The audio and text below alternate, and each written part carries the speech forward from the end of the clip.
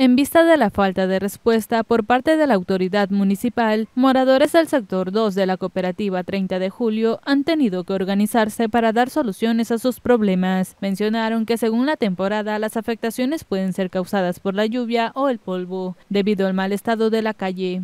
Hicieron hincapié en que el sector es céntrico y por ende deberían atenderse a las necesidades del sitio.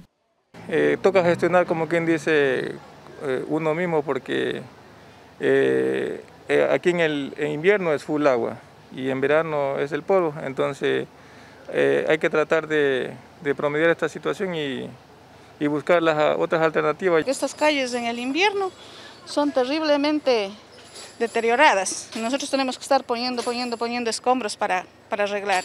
Entonces es por eso que nos hemos visto en la necesidad de arreglar. Todos merecemos tener obras, mucho menos aquí que estamos en el centro, porque aquí prácticamente estamos en el centro y hemos sido abandonados con este, con este sistema de obras, no, no nos han prestado atención.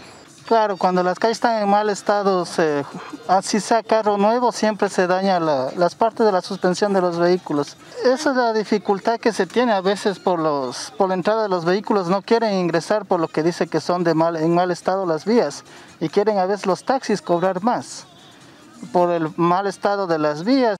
Según manifestaron, han tenido que asumir competencias ajenas. Hacen un llamado a las autoridades pertinentes para que empiecen a trabajar en beneficio del pueblo y en sectores que realmente deben ser intervenidos. También solicitaron el cambio de tuberías de la cooperativa.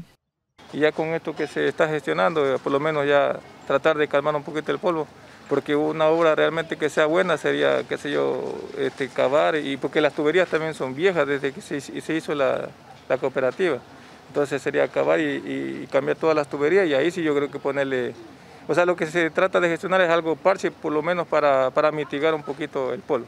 Sí, yo quisiera que, que pusieran un poquito más de atención para realizar este tipo de actividades.